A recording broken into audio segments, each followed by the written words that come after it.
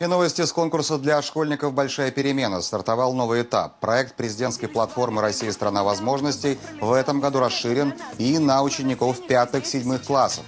Сегодня второй день большого онлайн-марафона. В нем участвуют эксперты, известные актеры, спортсмены, танцевальные коллективы.